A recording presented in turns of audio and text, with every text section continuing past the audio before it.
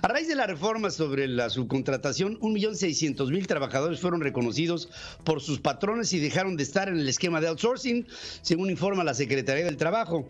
Dice que de aprobarse en el Congreso una iniciativa que presentará Ricardo Monreal, el presidente de la Junta de Coordinación Política en el Senado, se va a ampliar el plazo para que las empresas se regularicen hasta el primero de septiembre. No hay tiempo, pero después de todo, hombre, si echan a perder todo esto, ¿qué importa, hombre? Después de todo, nada más son millones de personas que se van a quedar sin trabajar.